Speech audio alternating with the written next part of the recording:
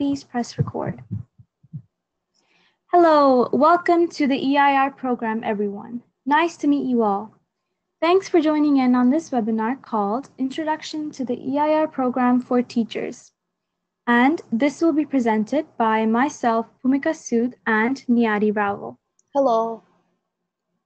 Throughout the webinar, we will have interactive slides where we encourage you to participate and let us know your thoughts and opinions in the chat box.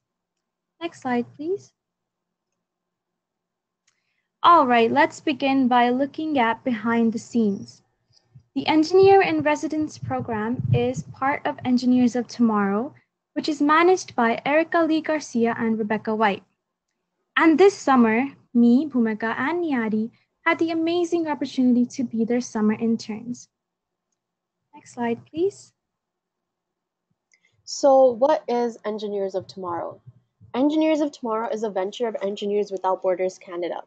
We partner with engineering companies, professional associations, and educators to transform the engineering profession. We want to make the profession more diverse. We want people in the profession to learn from their failures, innovate, and solve problems of the 21st century. We believe in the power of engineering outreach to shape the future, and that's why we do world class engineering outreach, and we inspire and instill the capacity in others to do the same. By shaping the perception of engin- the public's perception of engineering, we can change its future. If you want to learn more about this, you can go onto our website at engineersoftomorrow.ca. All right, so another great way to spread awareness about engineering and fulfill our mission to promote engineering is through sharing our engineering story. So I'll start with my engineering story. Let's start at the beginning. So my dad's job enabled us to move around from country to country. I started my schooling in America, continued it in India, and then finished my high schooling from Canada. Having lived and studied in different parts of the world, I was exposed to different people, different cultures. But one thing never changed my interest in STEM, in STEAM, sorry science, technology, engineering, art, and mathematics. And the feeling that I wanted to be part of something bigger. And because of this, I thought architecture would be a perfect career choice. I could apply my STEM skills as well as grow my artistic abilities. But I never felt I never had that connection or that feeling that I was meant to be doing this. I realized I was missing one crucial thing the need to make a change in the world. I wanted to contribute in making as small as an impact as possible. And through this, I realized maybe I should explore the world of engineering. Engineering is very diverse, and I wanted to have different options. So this made me choose management engineering. And for all of you who don't know what that is, a little about um, management engineering. We learn how we learn to analyze how organizations operate, and then we apply engineering skills to increase their efficiency. I've completed my first year at University of Waterloo so far, and I am passionate about continuing to develop my skills. What about you, Niyari? What's your story? So, similar to Bhumika, I've always wanted to make a difference in the world. When I was in grade six, I started a club at my elementary school called the Because I'm a Girl Club. And it's basically a club about um, empowering women to sort of take care of uh, their basically be make them the providers of their small towns or small cities in uh, rural areas. And I I held a lot of fundraisers in my elementary school. We sold samosas, we had bake sales, etc. And then um, I also joined Me to We in elementary school, and I also joined Me to We in high school and it's basically another sort of nonprofit organization. Um, I was I ended up becoming the vice president of Me to We in grade 12. So I've always just wanted to do something that would help change the lives of someone in the world. And another thing that I was passionate about was um, envir- the environment. I'm very enthusiastic about environmental sustainability and doing things to help our environment prosper and sort of try to reduce the effects of climate change, and I've always been interested in that sort of thing. So when I was uh, in grade 11, it was that time frame where you, most people started to decide what they wanted to do in grade 12 and what they wanted to do in the future, and I was sort of struggling. So I had the option of either doing taking the easy route and taking something uh, easy and doing the easy way out, while I could have gone into engineering, which at the time, my brother was a chemical engineer at Ryerson, and he was um, I saw him sort of struggle. Like he would stay awake till 4 a.m. just to study for his exam, and he had to wake up at 6 a.m. So he got two hours of sleep because he had to commute all the way to downtown Toronto. So it was sort of a struggle for him, and I saw him go through that. So he would be telling me that, oh, you should do something a little bit easier, like do accounting. So I went up and looked into some accounting programs and then looked into what accounting was and i was i was set on my mind that i was going to do accounting in the future i was going to do accounting but then i realized that i didn't really like accounting i don't really like just pure math and i just didn't want to do accounting in the future it wasn't what was going to make me happy so then i sat down and tried to understand what i wanted to do in the future and i realized i was really passionate about the environment so if I wanted to do something that would help the environment in the future, I think that would make me happy. So that's why I decided to uh, apply for chemical engineering. And as I stated before, my brother was in chemical engineering. So he would tell me about some of his courses. And he told me about a couple of his different courses that he had to do at Ryerson. And I was really interested in them. And I, when I looked up the definition of chemical engineering, it was something along the lines of uh, taking raw materials and creating processes in order to produce um, a, a gener- uh, to produce a product at the end. And I thought, why don't we take those processes and make them more sustainable so we can help the environment? If I could do that in the future, I know that that's going to be something that will uh, make me happy, and I'd want to continue doing that job for a long time. So in the end, because of those reasons, I ended up picking chemical engineering uh, as my profession, which I want to do in the future. And right now, I have completed first year at, of chemical engineering at the University of Waterloo. All right, so what is an engineer? So to become a Canadian engineer, you must first get an undergraduate degree in engineering from an accredited school, which is typically about four to five years long. And then at this point, you will receive an iron ring, and then you have the option of signing up as an engineering intern with PEO. And then to become a professional engineer, you must work for an additional four years in an engineering type job, and then apply for a professional engineering license. Next slide, please. But what really is an engineer? Well, in popular opinion, we say engineers are problem solvers, but they are so much more than that. An engineer is someone who hopes to change the world, someone who wants to improve the lives of other people, and someone who uses imagination and creativity to turn ideas into reality. And this is the message that we are trying to spread to show everyone what an engineer truly is and break the stereotypes. The definition of an engineer can be so diverse and unique depending upon person to person, they are not just builders or fixers, they are innovators and have the power to make a really big difference in our lives. Next slide, please. So when you search up engineer on Google and you look at the images, these are the first images that pop up uh, in Google. So can you guys use the chat box and sort of see or identify the common themes that you see in the pictures? Like, is there anything that you see that all of these pictures sort of represent? Yes, uh, someone wrote white men in hard hats. Uh, Bhumika, is there anything else you notice? Well, I noticed that all of them are holding some sort of blueprints, which signifies that they're all just building something or making a building, some something related to that. Yeah, and someone else wrote, um, they're mostly men, and that is true. Most of the people in this picture are men. There are only two females in this picture, and one of them is in the middle middle row, and then the other one is in the last row. And both of them again are wearing hard hats, and they're holding something which may look seem as a blueprint or something related to construction. so when you when you think of an engineer, or even when children think of engineers, they mostly perceive engineers to be people that are construction workers or they build buildings or they're men in hard hats. And that's basically the stereotype that we're trying to break at Engineers of Tomorrow we we know that engineering can be a really diverse field. So people can go into they can go into computer engineering, so they can build computers. They can go into software engineering. They can code. They can work at Microsoft, Google. They can also work in the food industry. They can work in pharmaceuticals with Sanofi. So there's a variety of different things that um, engineers do. And we want to break sort of the stereotype that is that engineers wear hard hats, they're male, they hold blueprints, and they only build buildings because that's not all that engineers do.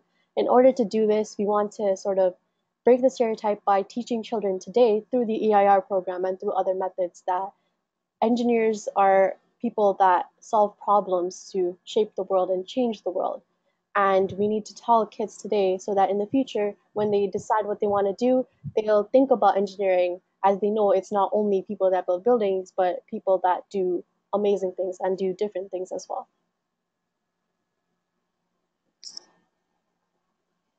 So what is the EIR program? The EIR program is the Professional Engineers of Ontario, PEO, flagship outreach program. The program pairs engineers with schools to give presentations, do activities, and inspire students in the areas of science, technology, engineering, and math, which is STEM. All right, so what the EIR program hopes to accomplish? Well, as Niadi said, the program aims to promote engineering and STEM. But our main goal is to create a positive experience regarding STEM and make a good and lasting impression and help inspire the kids to contribute and make a positive change in the world. We are not just focused on recruiting kids to become engineers. We want to help them understand what STEM is and maybe explore it as a career once they grow up. We want to show that every kid can be anything they want, even an engineer. Next slide, please. If you are new to the program, these are some helpful tips. So Logistics 101 for the EIR program. First of all, what you should do is define some expectations with your engineer. This program's success completely depends upon how you and your EIR communicate. This is a partnership between you two. And in order to meet these expectations, what you can do is um, you can make a goal of at least um, meeting once per month to discuss ideas and activities. You can do some preparation outside of the classroom so that when you are in, you can everything flows properly. Also, um, you should come up with relevant content as a team. We highly suggest that it is ideally aligned with the curriculum so that it benefits the kids the most. Therefore, the engineer should know what the curriculum is throughout the school year for clarity purposes. Also, you should decide the best methods of communication and how frequently you will be in touch. The best thing to do is come up with a plan and sort of follow it throughout the year. Also, the EIR should generally be making hands-on society-based programming activities, such as what's on our website, eir.ca slash resources. What you can do is start with activities such as common ones like building blocks or Jenga or something like that, but then instead of engaging the students in building and making, ask them where is it going to go and why? Who will it help and how? Have them think about the society and sort of go beyond what is normally taught in the classroom. And most importantly, contact us if anything goes wrong. We will check in occasionally, but it's, it's mainly going to be all communication between you and your EIR. And if there is anything that you need to talk to us about, specifically contact Rebecca White. Next slide, please. So now we're going to move on to the interactive part of the webinar. We're going to be going through a couple of sort of um, issues or problems that could occur throughout the program, and we want you to type in the chat what you think should be done about it. So the first scenario or problem is communication issues. So you're excited to have the EIR program in your classroom next year, but you haven't heard from your EIR yet. You're frustrated and worried that your students won't get to experience the exciting learning opportunities that the program offers. What do you do? If you guys have any uh, solutions to this problem, please write them down in the chat.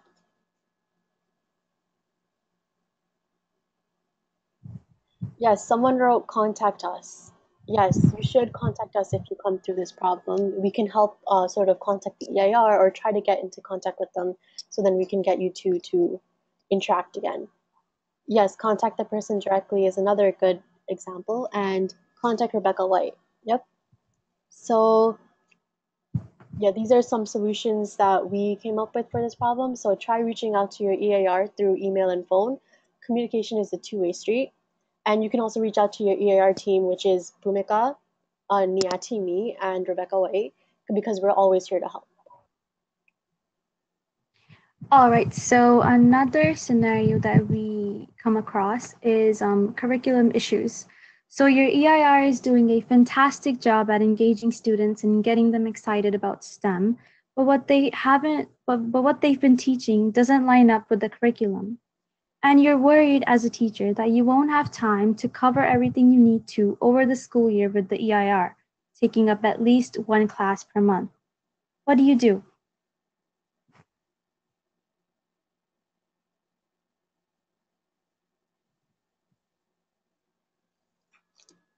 So uh, Yeah.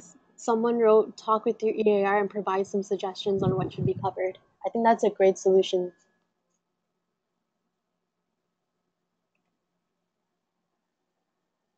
All right, so what we suggest that you do is talk to your EIR about what specifically you would like them to cover. And chances are there are several real world applications and activities that they can try look through the resources and activity ideas on our website. And if you find something interesting, see if your EIR would be interested in trying it out. Or email us, we're always here to help. Yeah, and someone wrote, make a clear plan about what needs to be done, which I think again is a really good idea because if you have a clear plan in the beginning of the school year, it'll, you won't run into problems throughout the school year. So, Mhm. uh, scenario number three is difficulty engaging students.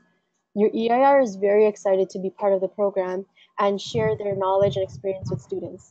But it is clear that it is not it is their first time doing this sort of thing and are struggling to engage and relate to the students. What do you do?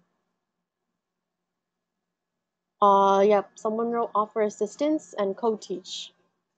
Uh, anyone Yes, else? Sorry. because you are the teacher and you have more experience dealing with your students. So that is yes. And also someone said give them strategies hmm because they aren't teachers. Yes. So some of the ways that we suggest you can address this problem is you can suggest ways for them to engage the students because um, the students that ha- have uh, worked for you because you know your students the best. If there's something specific you can think of that they can improve on, make sure to point it out because constructive criticism is necessary for the EIRs to improve and have the greatest impact on the students. And as someone wrote in the chat, the EIRs are not teachers, so it may be a bit of a struggle for them to get them engaged. So if you could provide as much assistance as you can to them, it would be amazing.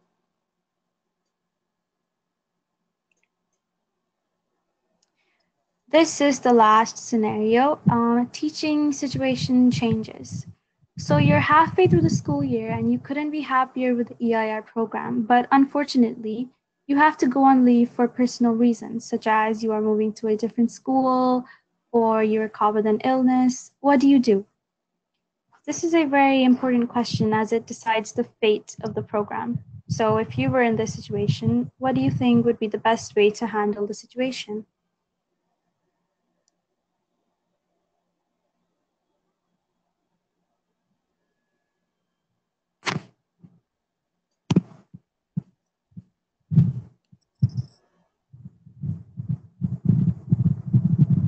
Yes, that is a good suggestion. Ask the EIR if they want to continue with your replacement teacher and then facilitate that. And also tell the EIR and let them know, let the administra- administrator know that the program is successful. Yes, yes. So what we suggest that you do is um, let us know as soon as you can. Contact us and we'll try to get in touch with both of you. We'll try to see how we can help. And also see if the teacher who's going to replace you is interested in continuing to host your EIR on a monthly basis. Also, you can try to find another teacher at the school interested in the program so that the EIR can stay at the school that they were assigned to.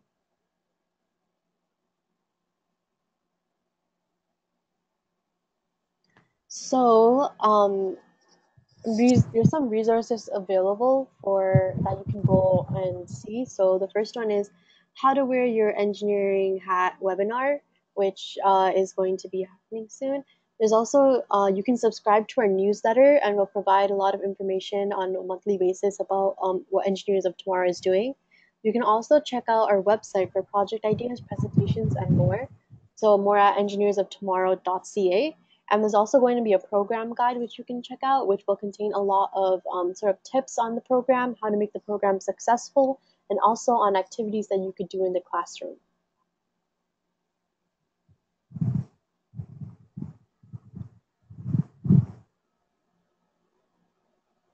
Also, don't forget the upcoming events that we have. You can also join in and listen into these webinars. On Wednesday, July 11th, we are going to host the Introduction to EIR program for EIR's webinar. On July 18th, we will have the Diverse and Inclusive Messaging, which is for both teachers and EIRs. On 25th July, we will have Sharing Your Engineering Story. And we highly suggest that you come and listen into this webinar too, as it will be inspiring for all of, all of us. And on 15 September, we will have the in-person orientation. So this is the part of the presentation or webinar where you can ask us questions or if you have any concerns or comments, you can write them down in the chat and we'll answer them, answer them.